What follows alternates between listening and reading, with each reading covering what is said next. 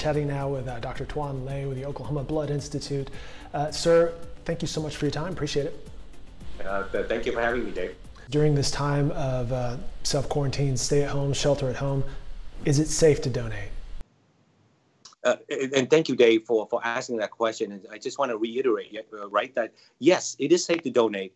Although blood uh, collection organization like the Oklahoma Blood Institute is a critical part of the healthcare infrastructure in this country, we are not uh, a healthcare facility. So therefore, we do not treat patients who are ill let alone right uh, those folks who are unfortunate enough who are now hospitalized because of COVID-19. And so it's a safe uh, process. It's a safe facility for people to show up and donate. And obviously, with all of the talk about shelter in place, be safe at home, stay at home, that sort of thing, that that we need to counter that message with the fact that there are ongoing blood drives that are being canceled, and, and we just need you know, those who are interested uh, to donate to kind of check us out, uh, check us out on uh, our webpage, call us, uh, and then we can uh, have your questions answered. Knowing, right? It's an interesting theme, isn't it, Dave? Where we know that blood is not only needed daily, but it also is needed continually throughout the year. Uh, and so, this is a question that we have to talk about, think about as this COVID 19 pandemic is going on. And that website he mentioned, obi.org, for more information and, and different ways. And let me ask you that. Let's say a person wants to help, but perhaps not donate blood. Are there other ways that people can help out? Yes, that's right. You know, that's a great question because we um, we, we know that if, uh, for example, they're deferred because of a medication or something, you know, uh, we always need blood donors and, and new blood donors. And, and, and, and so therefore they can help uh, ask their friend, ask their family members who are healthy and all that to come and donate just to get the word out. It, it was a sad fact, right? If you don't, uh, you, you, you may uh, not be aware of this, but of the people in this country who are eligible to donate, it's estimated that less than 10% actually come to a center or at a blood drive to donate. So while there are lots and lots of people who are eligible, uh, they could be so busy and they've never been asked or never thought about it. Uh, but those are the questions that we need people to think about. Uh, and that in case there a specific donor can't donate for some specific reason, that he or she can help recruit a friend and tell uh, their friends and family to come donate for us. Um, is there a blood shortage right now? Dave, you know, holistically to say, we always have a blood shortage, right? Because uh, blood is a needed uh, component for patient care. And there currently right now, there is no FDA approved blood substitute. So if you want to ask me holistically, right, there is always a blood shortage. But the key of it is, is to manage the blood supply smartly enough to make sure that there is enough blood uh, for the right patient at the right time. It's a blunt question right off the top, just given all the things going on right now that we see nationally and locally. So uh, thanks for that answer. Um, how do you manage it? This is this is something that the Oklahoma Blood Institute's right in your wheelhouse. You know what to do. Tell us more. How do you manage that?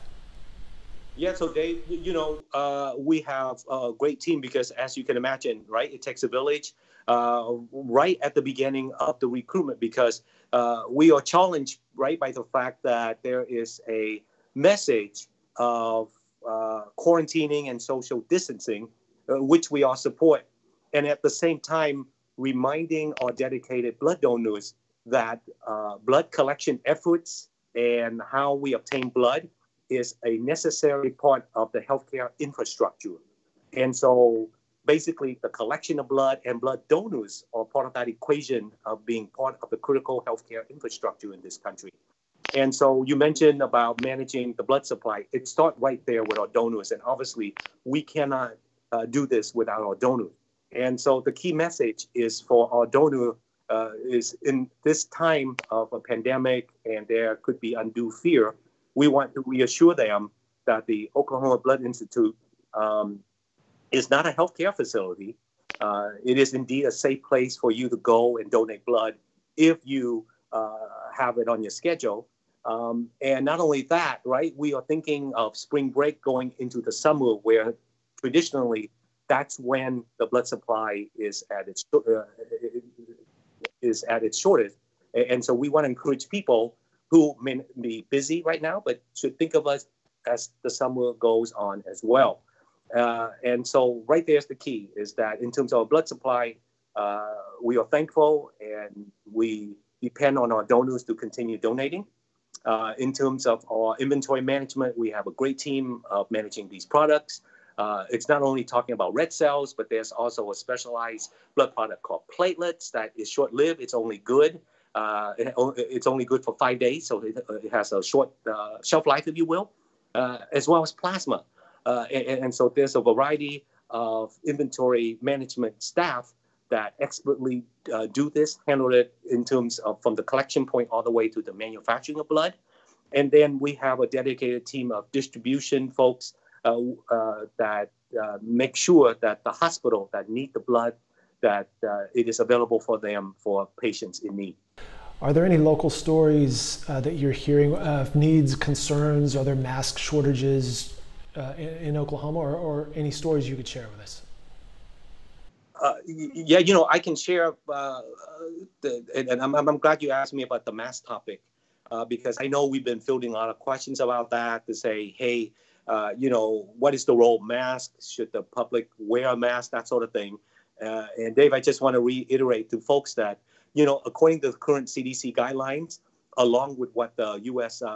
Surgeon General, right, Dr. Adams have already advocated earlier this month, these masks should be reserved for uh, our frontline folks, the nurses, the doctors, the respiratory therapists, the ICU staff, the emergency room team, the people who are actually treating patients uh, for other symptoms, you know, besides COVID-19, right? And, and, and, and, so that's the thing I want to stress is that these masks uh, should only be reserved for the healthcare workers who are on the front line. Um, and just to share with you any kind of story, you know, at the Oklahoma, Oklahoma Blood Institute, we actually have a team of nurses that provide what's called therapeutic apheresis. It's a specialized procedure that is done at the hospital, uh, and our nurses uh, would uh, provide the service throughout not only Oklahoma City but also Tulsa as well. And so we actually have experience in terms of, of our own staff, making sure that they have uh, enough protective equipment and the mask. So that way, when they go into the ICU setting, that they're also adequately, uh, adequately uh, protected. And you know uh, that that's one thing that I can share is that I am so proud of our team and especially our nurses uh, who are providing these kind of therapeutic procedure. It's unrelated to COVID, of course, right? But these are specialized procedure that's performed uh, in the hospital uh, but they too are also seeing some of all of these downstream effect of COVID-19 in terms of having enough masks. Uh, Chatting with Dr. Tuan Le, uh, Chief Medical Officer at uh, Oklahoma Blood Institute. Uh, sir, so in your medical opinion, the stay in place, keep your hands washed, avoid contact with people, the social distancing, is that the best practice? You know, from what the cities have learned, right? Because we learn a lot of lessons from seasonal the seasonal flu, uh, the, the, don't we? Uh, and so those common practices of ensuring um, good hand hygiene, uh, ensuring social distancing, and if you're sick, stay at home uh, and seek medical advice and attention. Uh, those are all good advice, and these are the current advice of uh, the CDC as well.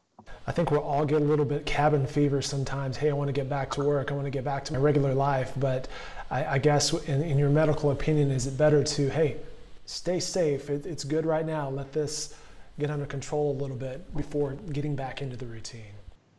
You know, David, I don't have a very good um, answer for that because obviously, you, you know, you have to look at the risk as a family member, as a as a dad and mom, and obviously too in the setting of kids going to school, right? But I I, I forgot, and I apologize. Uh, I don't uh, recall where I read this, but I just read this recently where, you know, this theme of social distancing is good, right, in terms of containing the passage and the infectivity of this virus.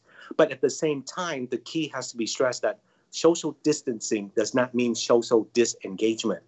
Um, and I think that's right. And, and this psychologist, and again, I, I forgot why I read it, Dave, but uh, she mentioned this. You know, you can practice social distancing, but why not draw a chalk, right? A circle of uh, what six feet or something, and then stay outside in that circle and talk to your neighbors, right?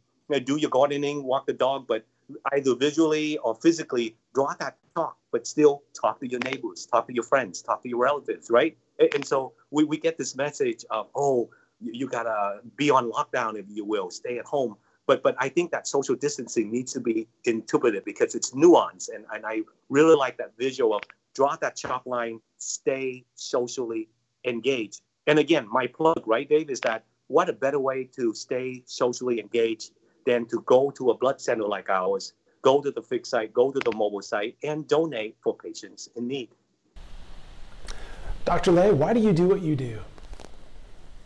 Uh, you know, I it is a job that I love, and I get to be surrounded by people uh, that are dedicated to the mission.